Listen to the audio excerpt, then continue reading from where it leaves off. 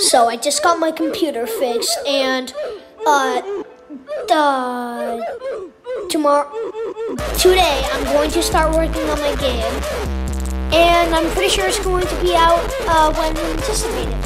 So yeah, see you guys in game.